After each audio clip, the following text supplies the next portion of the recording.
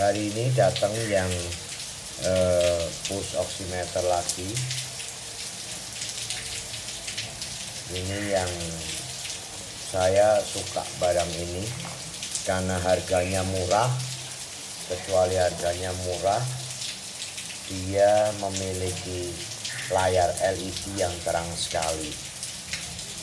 Nah sekaligus pada kesempatan ini saya memberitahukan kalau eh, tadi masalah pembersihan ya ini sekarang pengecekannya.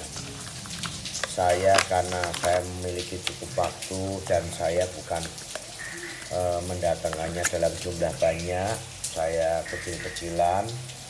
Jadi saya sempatkan waktu untuk mengecek satu persatu buku instruksi lalu talinya ada lalu saya cek juga barangnya seperti apa.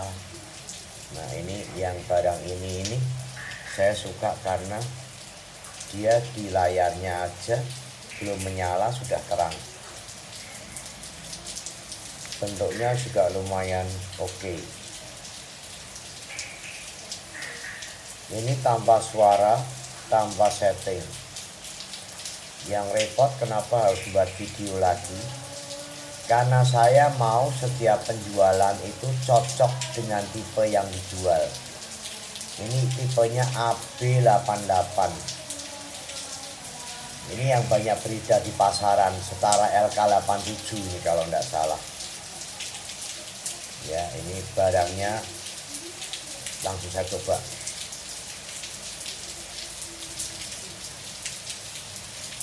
Dalamnya juga lumayan lumayan halus. Lumayan halus. Saya pasang baterai dulu biar lebih cepat.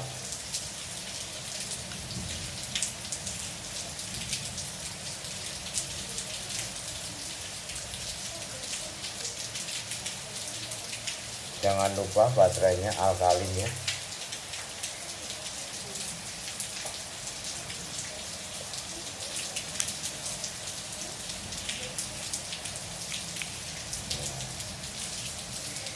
karena ada sinar di atasnya jadi kurang terang.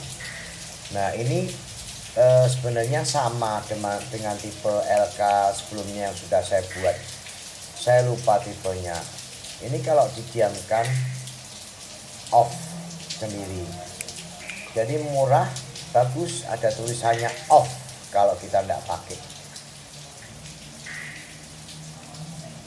Ya kita saya coba langsung masuk ini bagusnya itu terang semua. Terang semua. Ininya juga terang sekali infrarednya. Ini khusus vertikal. Saya fokuskan coba. Terlalu silau bagus ini sinarnya coba saya matikan lampunya. Aja ya sebentar ya. Saya matikan lampunya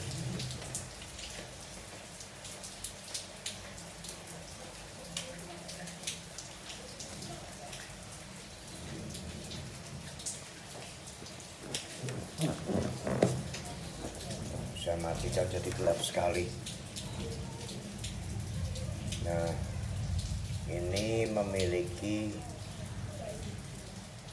aduh di, di HP tidak terlihat warnanya. Jadi yang tulisan SPO2 itu dan menit itu warna merah. Ya terus yang denyutnya warna uh, warna hijau yang SPO2 nya warna biru. Ketip-ketip ini denyut jantungnya warna kuning. Ini tidak dilengkapi dengan setting juga kurva. Ini hanya bolak-balik aja. Jadi kalau bacanya dari balik ya gini. Ya maaf saya menggunakan kamera HP jadi tidak bisa bagus gambarnya. Sekian terima kasih